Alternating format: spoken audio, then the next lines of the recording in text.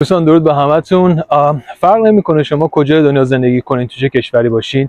هر جا که باشین خوبی ها خودشو داره. امریکا هم از این مسئله استثنا نیستش. اینجا هم بدیه خودشو داره خوبی خودشو داره. و توی این ویدیو قصدم این نیست که بخوام امریکا رو با ایران مقایسه کنم یا با اروپا یا با هیچ جای دنیا بخوام مقایسه کنم.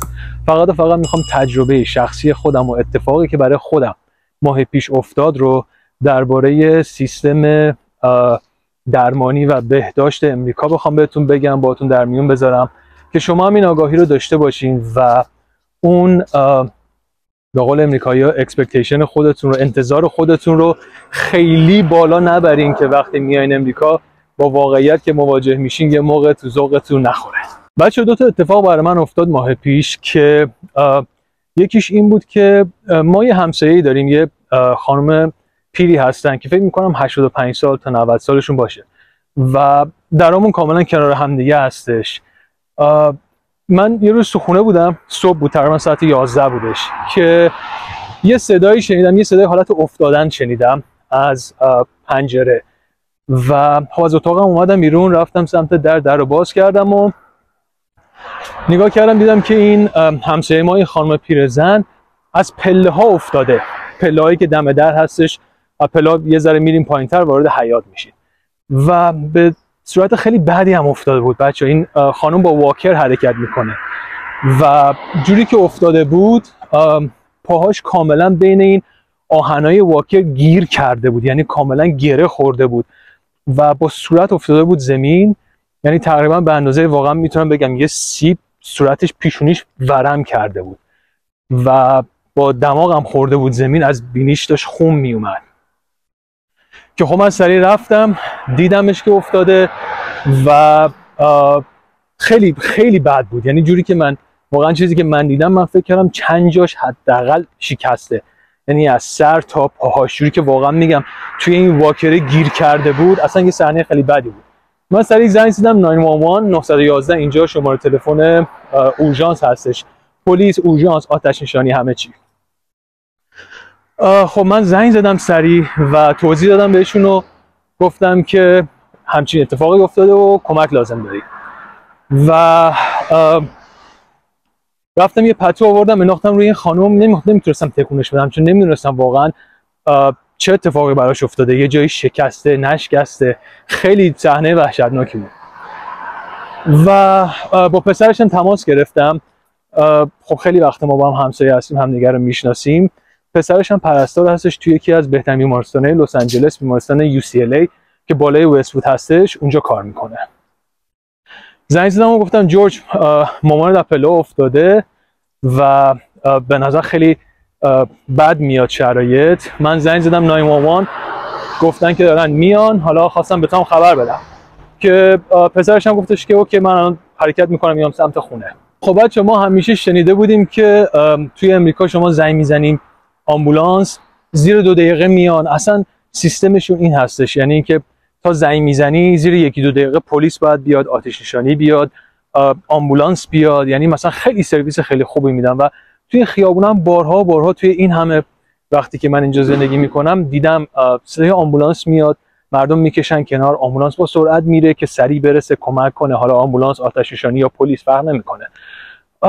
اون روز که من زنگ زدم 911 تقریبا 15 تا 20 دقیقه طول کشید تا ماشین آمبولانس بیاد که به این خانم رسیدگی کنه.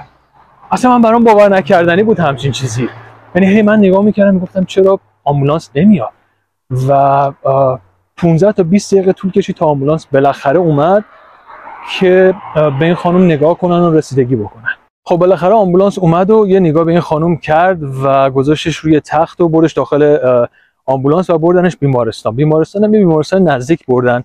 توی پایین سانتا مونیکا سمت لس آنجلس توی حدودا 5 دقیقه 10 دقیقه با خونه کلا فاصله داشتش. من با پسرش در تماس بودم. طرفای ساعت 5 5 نیم باش تماس گرفتم. حال مادرش رو بپرسم که گفتش که مادر منو تازه بردن داخل. یعنی از ساعت مثلا 11 نیم صبح تا 5 نیم بعد تقریبا 6 ساعت گفت مادر من روی ویلچر نشسته بود توی لابی با اون اوضاع. یعنی سرش به اندازه یه سیب باد کرده بود دماغش داشت خون میمد تمام بدنش کبود شده بود به خاطر ضربه که خورده بود. پاش گیر کرده بود لای اون واکر. گفت ما نشسته بودیم تقریبا 6 ساعت تا اینکه وقت به ما بدن و ما رو ببرن داخل که دکتر رسیدگی بکنه. مادر من ببینه. اصلا خیلی برام جای تعجب داشت همچین چیزی. یعنی من اگر دکتر بودم شرایط اون پیرزن رو می‌دیدم به نظر من امرجنسی میومد یعنی باید توی کمترین زمان بهش رسیدگی می‌شد. برای اینکه می‌تونست خیلی جای مختلف شکسته باشه سرش می‌تونست خیلی ضربه بری خورده باشه. ولی خب توی بیمارستان 6 ساعت نشسته بود تا وقتش بشه بره داخل دکتر ببینتش رو بهش رسیدگی کنه. که حالا خدا رو شکر اتفاقی براش نیافتاده بود آوردنش خونه بعد از یکی دو روز. جایش نشکسته بود سرش ضربه خورده بود عکس برداری کردن اینا. ولی در کل برام اصلا قابل قبول نبود این مسئله که همچین اتفاقی افتاده. اول اینکه تقریبا 20 دقیقه طول کشید آمبولانس بیاد و بعد از اینکه رفته بیمارستان 6 7 ساعت هم اونجا نشسته توی لابی تا وقت بشه بره داخل که دکتر بخواد ببیندش خیلی واقعا برام جای تعجب داشت و میگم اینجا خیلی خیلی صحبت می‌کنن راجع به اینکه سیستم بهداشتی ما خوبه. زیر دو دقیقه پلیس میاد زیر دو سه دقیقه آمبولانس میاد آتش نشانی میاد.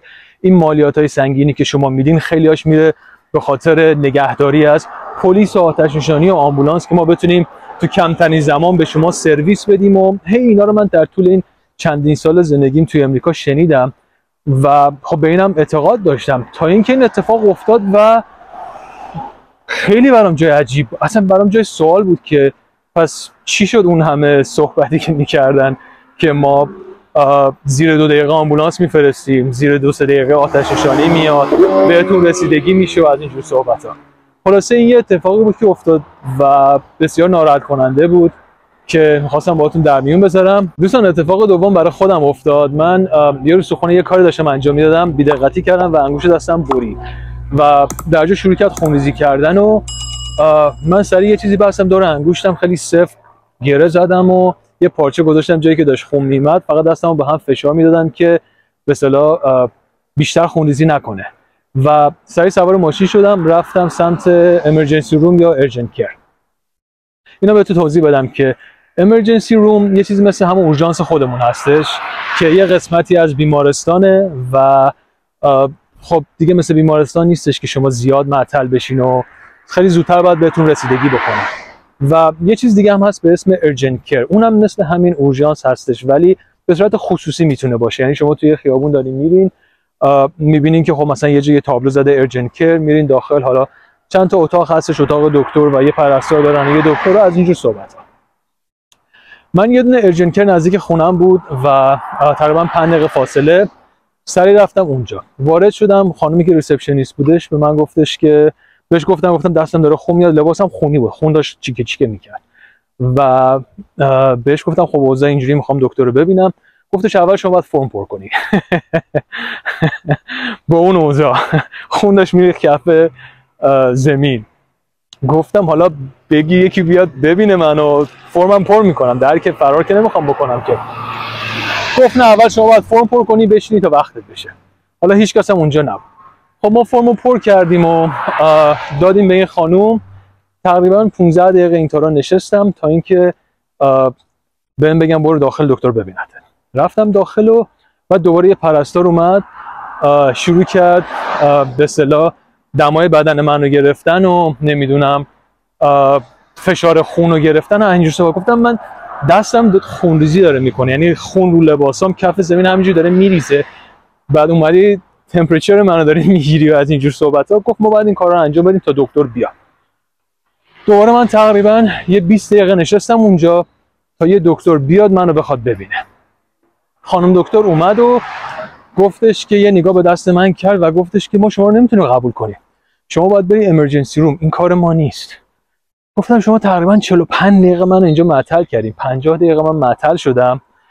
دست من خونریزی داره می‌کنه که شما فقط بیا به من بگی که این کار ما نیستش تو باید بری امرجنسی رو خلاصه ما از اتاق خارج شدیم و و این خانم دکتر ما رو برد سمت receptionist و اون دختری که توی receptionist توی reception بود گفتش که تو باید از اول بهش می‌گفتی که ما نمی‌تونیم کمک کنیم از اینجور صحبت ها باید میفرستادیش به اصطلاح emergency رو خب اون دخترم گفتش خب من که دکتر نیستم من از کجا بدونم که می‌تونیم قبول کنیم یا نه؟ خلاصه من ول کردم اومدم بیرون سوار ماشین شدم برای تقریبا 50 دقیقه رفتم امرجنسی روم رفتم داخل امرجنسی روم و خب اونجا شلوغ‌تر بود. 5 6 نفر نشسته بودن و گفتم باز داشت دستم خون داشت میومد و بهم بهشون گفتم نشون دادم شرایط رو گفتم که اینجوریه باید دکتر رو ببینم و اونا هم بهم گفتن خب باید فرم پر کنی دوباره. دوباره نشستم فرم پر کردم. ولی خب حداقل تو امرجنسی روم اومدن پارچه که تو دستم بود عوض کردن یه پارچه بهم دادن. یه باند تمیزتر بود که دوباره دستم رو نگه دارم که خونش زیاد خونریزی نکنه. نشستم تا اینکه وقتم بشه. تقریبا یه 20 دقیقه من توی امرجنسی روم نشستم تا اینکه وقتم شد که برم داخل دکتر رو ببینم. رفتم داخل یه 5 دقیقه توی اتاق نشستم تا یه خانم دکتری اومد و دستم رو معاینه کرد و شروع کردم به اصطلاح به تمیز کردن و پانسمان کردن و آمپول زدن برای اینکه خب چک نکنه و بعدم دیگه دعوا و اینجور صحبت ها یه مدت گذشت تقریبا یه دو هفته گذشت و من یه دونه بیل گرفتم یه قبض گرفتم که از اون ارجن کره که کمکم نکرده بودم بود که گفته بودم باید فلان قبل پول بدی. و من خیلی ناراحت شدم. یعنی واقعا عصبانی شدم وقتی که من این قبض رو گرفتم ازشون که رو چه حسابی من باید به شما پول بدم و برای چه سرویسی باید بهتون پول بدم؟ شما چیکار کردی؟ به جز اینکه 50 دقیقه فقط وقت منو تلف کردین در حالتی که من دستم داشت خون میومد خون ریزی می‌کرد. و زنگ زدم به کاستومر سرویسشون و به اصطلاح جر کردم. گفتم که من این پولو بهتون نمیدم. و اونا هم برای من یه لینک فرستادن لینک شکایت گفتن که خب برو اینجا این مشخصات رو پر کن بنویس که به اصطلاح از چی ناراحت هستی و ما اینو میفرستیم. این شکایت نامه رو میفرستیم. به نمی‌دونم قسمت اداری فلانجا از اینجور صحبت ها تا ببینیم جوابش به چه صورت هستش. حالا فعلا منتظرم ببینم که جواب این شکایتی که انجام دادین چی هستش. این بحث پولش نیست بچه ها می‌دونید چیه؟ یعنی با پرداختن حالا هر چقدر که هستش نه من فقیر میشم نه چیزی. بحث سر اینه که شما هیچ سرویسی به من ندارین وقت منو تلف کردین و الان تقاضای پول داری. خب این یه خورده به اصطلاح به قول معروف میگن سوزش داره. برای اینکه برای چی من باید پول بدم وقتی شما هیچ کاری برای من نکردی و خیلی ناراحت کننده بود برای من. حالا تا صبر کنیم ببینیم جوابش بیاد ببینیم چی میگن. خب دوستان خواستم که این دو تا مورد باهاتون به اشتراک بذارم و شما هم آگاه باشین. اطلاع داشته باشین که همچین اتفاقای اینجا هم میفته و وقتی که میان امریکا توقعاتون خیلی بالا نره که یه موقع واقعیت رو که باش مواجه شدین تو ذوقتون نخوره. میگم هر جای دنیا بریم بالاخره خوبی خودشو داره بدی خودشو داره و این ویدیو مقایسه امریکا با هیچ کشور دیگه نیستش فقط تجربه شخصی خودم بود که خواستم باهاتون در میون بذارم. امیدوارم که این ویدیو رو دوست داشتین به دردتون بخوره. لطفا like و subscribe فراموشتون نشه و لطفا share کنین ویدیو رو بذارین بچه بیشتری ببینن و بتونن از این اطلاعات استفاده کنن و حمایت بزرگی هم از این کانال میشه. مرسی که با من بودین. تا ویدیو بعدی.